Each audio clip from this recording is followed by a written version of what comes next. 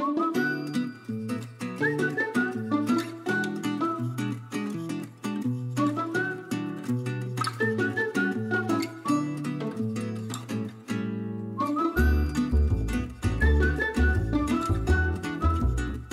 Becky Segal, VP of Engineering at Bark & Co.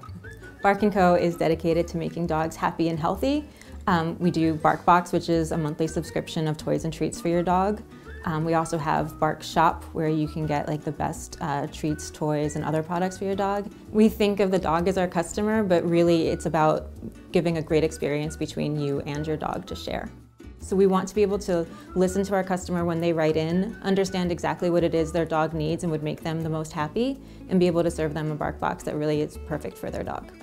We started using AWS Comprehend to take the custom text written responses along with the scores and give a sentiment analysis along with the score to find that cross section of low score, low sentiment. And we use that to kind of narrow down the field. And then we additionally use keyword extraction to um, identify what are the most commonly used words that people are talking about. It might be a low sentiment score, but a high rating. And things like that would be, uh, my dog destroyed all of their toys. And for some people, that's actually a really great thing.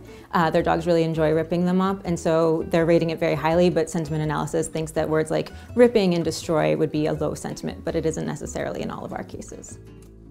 And then there's also just very funny things about the way humans and dogs differ, um, where a dog might really like a very stinky treat, but the human doesn't want to necessarily deal with the stinky treat all the time. So one of the things we're noticing now is like, all right, no stinky treats for this dog. Right now, it's really helping us refine the product and what we're offering. So we're taking it slowly and building out this program and trying to really listen and find patterns in what customers want.